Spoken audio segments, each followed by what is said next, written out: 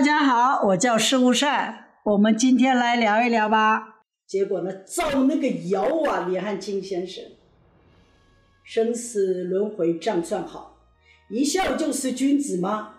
开骂就是恶人吗？怪乎去阴曹地府，造那个谣，真的三天三夜讲不完。我叹了一口气，包括袁医师、郑淑慧，你都可以去问他。还有好多人，我说他会绝子绝孙，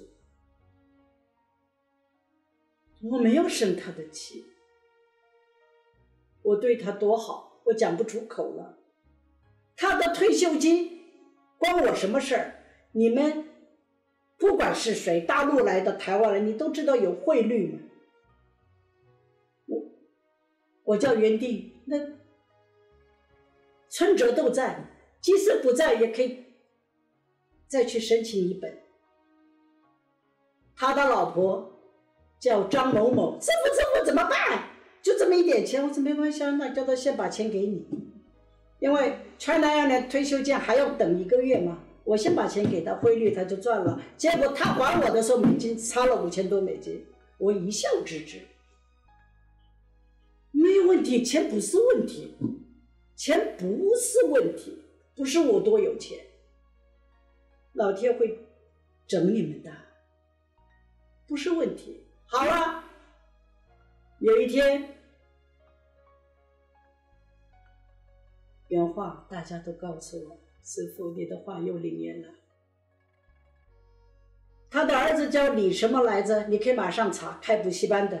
你可以问我袁好，马上问，马上问呢，叫李什么的，区区才为了台币五千万，一百五十多万美金。你们不要再说这个师傅很有钱，我我告诉你，我账号里几千美金，我没有钱。我最大的本能也好，是说服力跟煽动力，那是我的强项。我最不会说法，因为我讲都是真话。结果呢，儿子自杀了。你们都行行好不好？如果他的爹李汉清啊，李汉清、元德啊，一年来我对你不好吗？我一点都不生气，一点都不在乎。为什么你自己早着去死呢？离开我了就血癌。我相信你的朋友那个什么导演，也许会说：“师傅啊，你怎么了？哎呀，你怎么了？人都死了，你提这些干嘛？”张导演呐，我告诉你啊，如果是这个世界上的恩恩怨怨都没有人去讲，没有个真实的故事出来，我故事还多呢。也许就他的 case，他的案子是大的，因为他儿子也真死了。谁？李立威。李立威。李立威。李立威。哎呀，真的，哎呀，你们都是真的奇怪，你们为什么要糟蹋别人？为什么要说谎？做错了就错了嘛，跟着讲一声嘛，三拜九叩嘛。会死人吗？记得那个孔子的弟子是哪一个？我现在一下想不起来。来了个人，听说怎么着怎么着怎么着，孔子多棒，三千里地来来跪拜他，要求见他，然后来问了个问题。孔子的弟子说：“他讲太阳从西边出来。”哎，他怎么会西边出来？后来，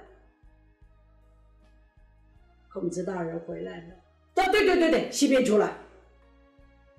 他说：“你看吧，给我叩头。”孔子就叫叩头就给他叩头，什么意思？观众们、大德们，孔子多有智慧呀！这讲不完呐，到晚上也讲不完呐。这种人，小人、女人、难养也，赶快叫他走了吧。我任何的弟子，任何的护法，哪一个人你是什么玩意儿，我早心中有一把尺。你们的是假装的装，我是装满了的装。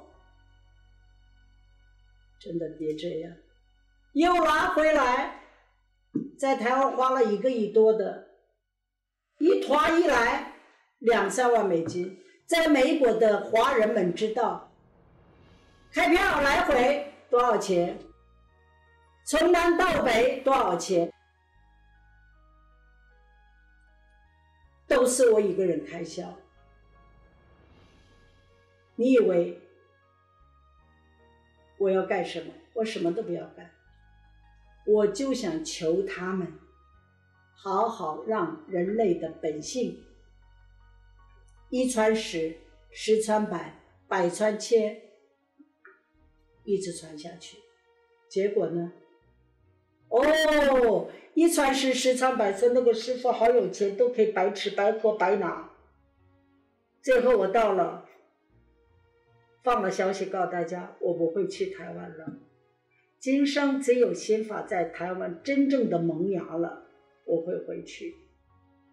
哎，奇怪了，现在点灯的人啊，以前如果一个月有两个。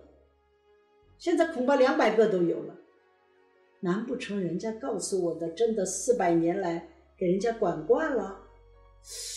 我还真有一点不信这个邪了。怎么会这样？我记得我问过李宏远李先生，非常有教养，也有学问，当过内政部长的，是我讨教他，我请教他。我说台湾人跟日本人的关系是什么？我一下子没有办法把他说讲的话学给大家听，因为有些话是带着表情。现在碰到我本人历历在目，从纽约到这边，因为全世界可能只有我一个，可了不起没关系哦，没关系。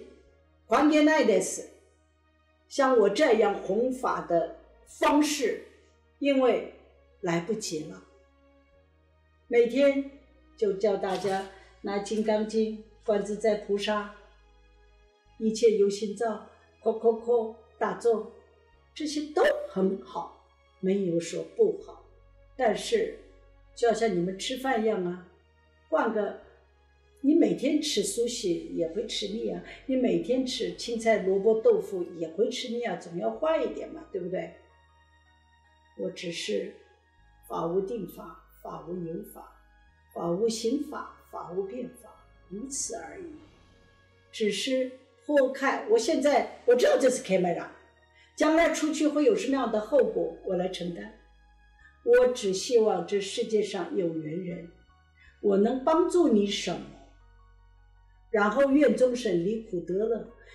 至于我的形象，我能得到什么？这个无关紧要，对我来讲完全不重要。好啊，生死轮回账算好，一笑就是君子吗？开骂就是恶人吗？怪乎去阴曹地府。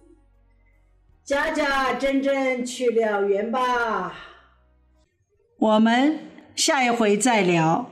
阿弥陀佛。